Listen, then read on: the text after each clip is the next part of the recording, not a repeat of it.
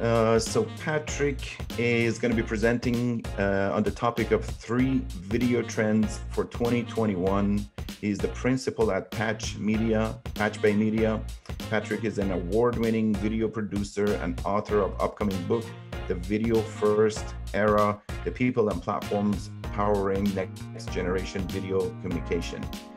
In this conversation, he'll share uh, how to beat Zoom fatigue with uh, new video tools and tactics, how to uh, create social video content without cameras or scripts, and the best performing social format uh, you should be taking advantage of. This is stuff we all need to know and take advantage of. So, without further ado, uh, we have uh, Patrick Frank. Go ahead, the floor is yours. All right, awesome, cool. Well, thanks so much, Sean. Sean and I got connected a couple months ago in a productized services uh, community icebreaker platform video thing, which is this fun kind of uh, speed networking kind of idea. But uh, anyway, so it's good to meet everybody here. Um, and we'll, so real quick, we'll, we'll do this choose your own adventure style. So I have uh, three trends that we're going to talk about. We're going to talk about short video, we're going to talk about virtual offices, and we're going to talk about asynchronous video. So where should I start? Someone, uh, someone tell me where to start. Short video. Short video. I see this and I'm like, what, what is that? Yeah. All right, cool. So let's talk about let's talk about short video. So in the last six months, uh, think about all these different tools and platforms that have been released. So I'm talking about Instagram Reels. I'm talking about LinkedIn Stories. TikTok has exploded, and it's actually uh, users are spending more time on TikTok than they are on Facebook. Actually, now just the flipping happened there. Twitter released fleets at the end of last year. And what did all these things have in common? Well, they're all short videos, 15 to 60 seconds. And this stories format is really cool because it gives you a different level of awareness, right? People, there are some people that just watch stories now. There are, with the algorithms being what they are, you know, your organic reach suffers more and more as more people are using it, as more ads are getting placed in the feeds and things like that. So I really think there's a big opportunity for you to be using stories for your business. Um, Google has also announced that they are testing having short videos show up in search results. So you can try it now. Like some of the examples that I saw in TechCrunch and places were like, if you typed in Green Bay Packers, you would start seeing some story style short videos at the top of that search result in this example I have here is like like rice or something. I found this on on, on the screenshot. So the the short video opportunity is big. And before, where you were only going to see those snaps, Instagram stories, that sort of thing within the platform, now Google is going to start to serve up some of that stuff in the results. So that's a huge deal.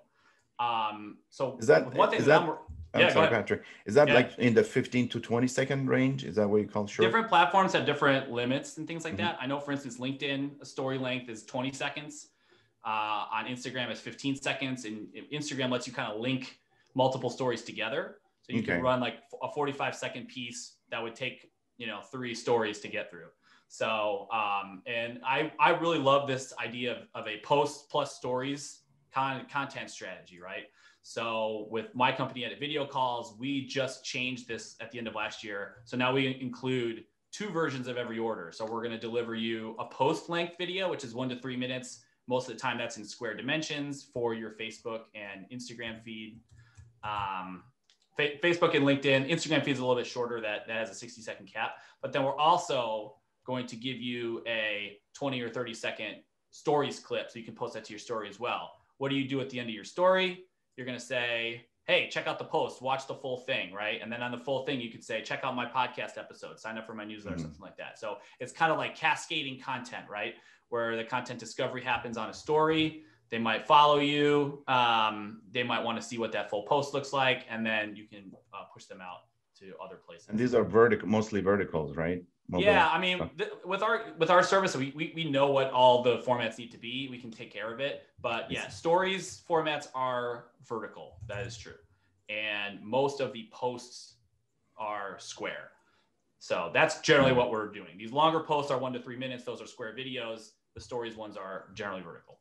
Uh, the one opportunity here that's really interesting is is Instagram Reels. So these are 30 seconds, and this is their TikTok competitor. Uh, I read a story in, in New York Times, and and um, I can find the link. And um, I wrote a blog post about all this stuff too this week that I can link out and you can kind of like get some more uh, detail on the research and check out where, where these sources came from. But um, Instagram has been reaching out to its power users, its influencers and other people to try to get them to use reels. And this person basically shared all of the input insights that this rep this from Instagram gave her. And uh, it, it's being so it's being pushed hard so much by Instagram that if you post a reel, then the rest of your posts for that week will get boosted in the organic results. So if you're not using reels, you're going to get punished. If you are using reels, you're going to get rewarded. So they have a ridiculous. I wrote this down. This is their Instagram suggested posting schedule is three posts per week for your feed. Uh, so that could be reels or IGTV. Eight to ten stories per week, preferably two a day. Four to seven reels a week. One to three IGTV videos, which are longer than a minute per week. That is a ton of content. Her version of a realistic content schedule is one to two stories a day, one reel per week, and then one IGTV per week. So the whole idea here is consistency.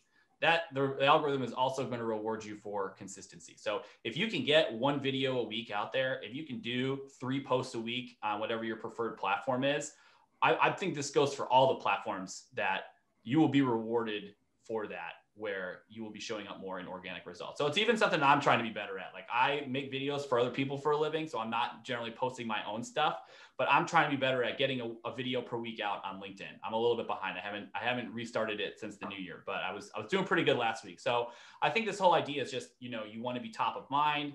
Uh, your content needs to be relevant for your audience, and that's how you're going to grow. Especially if you're a coach or you're offering uh, consulting services the more people see you, the more they think of you when they have a need. And I think that posting um, regularly on social media on, on one or two platforms that you've determined are your favorite and the best for your business is going to be really important. Uh, any questions about short videos before I move on to uh, the next part? No? All right, what are we doing next? Virtual offices or asynchronous video? Asynchronous. Asynchronous. Okay, great. So, um, everyone's sick of Zoom meetings. No offense, Sean. Uh, we have too many meetings. And the reason we have too many meetings is because a lot of us, maybe not this group, but a lot of people came from offices where there's just a culture of having a whole lot of meetings. And uh, so, one of the things that I, I kind of have been really focused on as I've been working on this book that Sean mentioned is how can we have better meetings? How can we have fewer meetings? How can we fix Zoom fatigue? Because I think uh, it's not a given, but I think it is. A, there's a very strong case that we are going to have remote work forever. That offices are going offices as we know them are going to go away.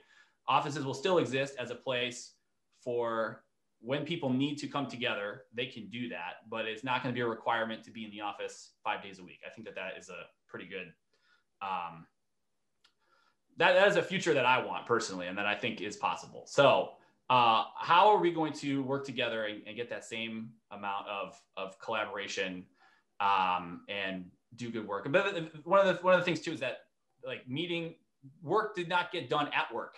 You would go to work, you would start working on something, you get interrupted, you get pulled into a meeting. Like, how are you going to get any work done, right? And so I think that's one of the opportunities and the advantages of remote work is that we can build our own schedules. We can carve out time where we focus and, and write and do the work that we need to do. And then we can meet um, as needed. And it's a better working model. But the problem is we're taking what we used to do in the office and we're pushing it onto remote work. And it's that's what's killing us with our Zoom fatigue. So what I have found is there are a couple ways that we can use to how that we can remove Zoom meetings from our lives. And as a video person, one of my favorite things is to use asynchronous video tools. Have has anyone heard of Loom or Descript? Yeah. So, hey Zeus, what do you think? How, which one have you used, and and uh, and tell me about your experience. Uh, I started using Loom when it was free, uh, and I think you could get like I can't remember if it was like a uh, ten videos or something like that, and and I stopped using it, went back, and now they're charging. Um, I think you can only do three free or something like that. But I, I like Loom because it allows you to do a short presentation on your computer and kind of have your profile on there or your face on there while you're talking through the video. So yeah, with Loom and and, the free version of Loom, the it, it's kind of and it's good to know that you can only do certain things because it kind of forces you to stay within that short video uh, portion of it. Cool. I'm glad you played with it. So um, I think I signed up for Loom's annual plan last year and it was about 100 bucks for a year, and I think that's totally worth it. Oh yeah. Um, so here's I was working on this video with my team last week, and I can't play any sound in Prezi video right uh, in my presentation right now, but um, uh, I'll play a little bit of it, bit of it in a minute. But um, I could have gotten on the phone with them and kind of talked through like, hey, when I have this, when this part of this video comes up, you know, I want this to happen or something like that. So instead, I just sent them a video and you can see my little head down here. And I basically just said, you know, with my mouse and stuff, I said, hey, I like this part over here, but can you fix this? Can you move this over here and do, you know, this sort of thing? And so I think that, especially for uses like feedback and um, updates, I think asynchronous video is way better than scheduling yet another meeting. You know, meetings are never going to be less than 30 minutes, 20 or 30 minutes. And if you just need someone to weigh in on something and it's not a fire that needs to be put out because your business is like going to break or something like that, uh, just send a video. Just send a video. And some of the reasons why. So there's this idea of, of asynchronous and synchronous being our time and my time, right? So our time is a traditional in-person meeting. We're collaborating. We're working on something together. Those definitely have a time and place. But my time is working when I want, how I want, and I can be focused on the task at hand that, that I need to focus on. And so I think that we can be more courteous to each other by using tools like Loom and Descript to send videos to just remove if we can if we can make other people not have to be at a meeting with us um, we're going to have a better work relationship i believe the other uh, advantages to this are double speed so if i send a loom video i can watch it on my own time and I can watch it at 1.2, 1.5, 2x speed so I can get through it faster, right? So now all of a sudden that video that was 15 minutes or that meeting was 15 minutes, I can do it in seven minutes, you know, 10 minutes, something like that. A lot can of these do, tools. Can you do the same thing with BombBomb? BombBomb. Uh, I don't know about BombBomb. Um, I don't know too much about BombBomb. I know like Warm Welcome, BombBomb. Like there's a couple other platforms that are really kind of sales heavy and like personalized and things like that. Uh, I assume that is the case because I definitely think the the two kind of things that all these platforms are adding are transcripts and uh, timing, like respeed. And so uh, if they don't offer that, I think they probably will soon. Um, commenting. So instead of watching the video and then sending an email and then you know copying somebody else and then they lost the link to the video, blah blah blah, all the conversation happens right there, right? I add a particular timestamp, I can leave a message that says, hey, right here, can this happen? Or hey, you know, you talked about this. Here's what I think. Blah blah. blah. Uh, we need to bring in another coworker so we can tag them in it. You know, just at their username if they're in the team with us, sends a notification. Hey, you got to watch this video. You got mentioned at minute four, so go ahead and weigh in. So and again, they can they'll do that on their own time. Yes, sir. Question: uh, Does the recipient also have to have a Loom or or an account, or no. can just watch it in any format? Mm-hmm. Now with the tagging and stuff like that, and working in teams, maybe that's some additional functionality. But um, you know, you can send a Loom video to anybody. They don't have to have a Loom account. Okay. Yep. Good question. Uh, and like like in, in here, yeah, it, it's shareable.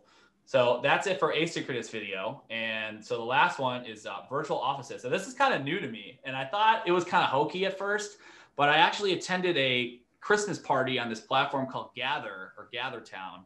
And it was awesome. Um, so the idea with with Zoom is that we can see each other and we can talk and collaborate and things like that. But there's just like there's there's a lot of things that are missing from the energy of an office, right? And so what these virtual offices are trying to do is they're trying to create a spatial, physical place uh, on your computer that you can work, that you can have events and meetings and things like that that operate in a similar way to being in an office. So, for instance, in TeamFlow, this this particular platform is very much looks like your your WeWork or something like that. Really clean, modern. You can see here. There's people sitting at co-working desks. There's like a little plant right here. And so the idea with all these is like, if I want to talk to someone, I literally have to walk over to them, and then we can have a conversation.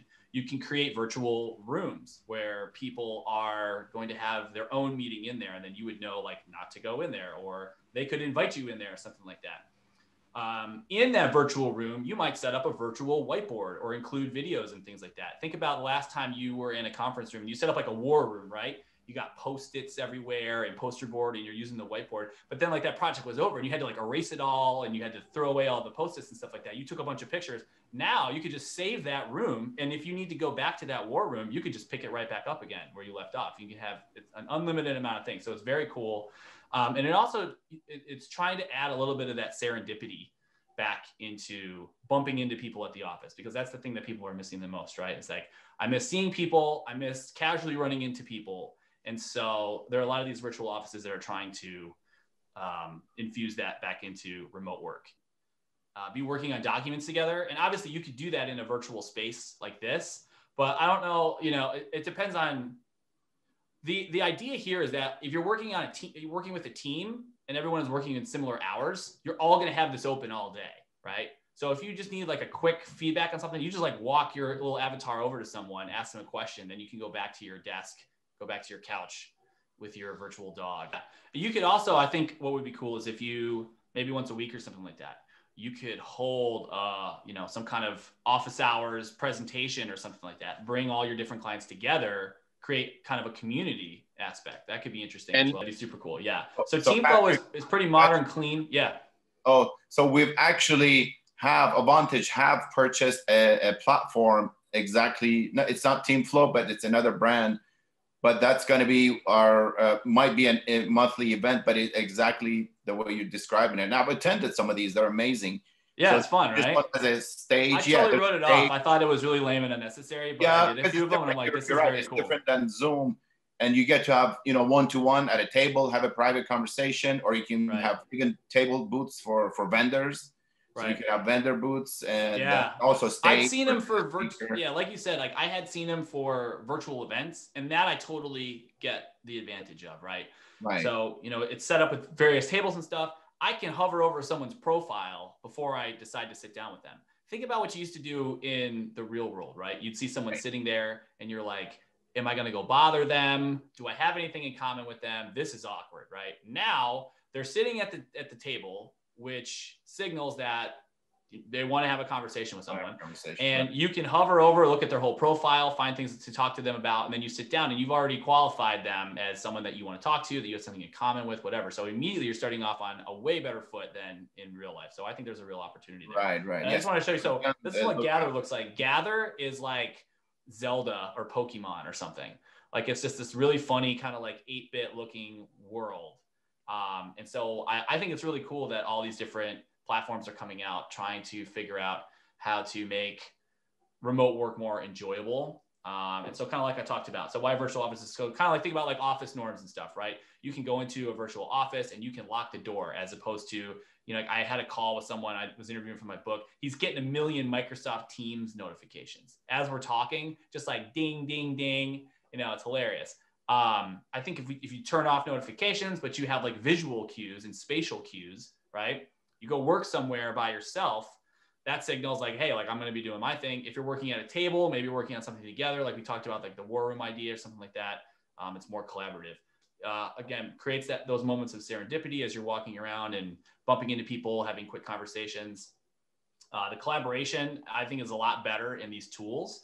Uh, you can bring in, like I said, um, Google Docs, YouTube videos, whatever, into these virtual spaces that everyone can interact with within the virtual world. So as opposed to having like a million different tabs open and like trying to figure out like how to make these things shareable and collaborative, it's all right there in your virtual space. Uh, and then the, the last thing would be to create different spaces, right? So if we needed more um, conference rooms, if we, you know, wanted to create uh, some kind of seated area, some kind of audience stage if we wanted to host something. So it, you just are completely flexible with the kinds of spaces that you can create uh, on these platforms. So uh, that's all I got. Uh, happy to take questions, but um, yeah, this was fun to talk to you guys and, and let me know how I can be helpful. So uh, yeah, and the presentation I did in this platform called Prezi, which I'm very impressed by, it's very cool. You guys have ever heard of Prezi? So Prezi videos, pretty neat. Um, and I'm going to definitely be using this uh, as I'm talking.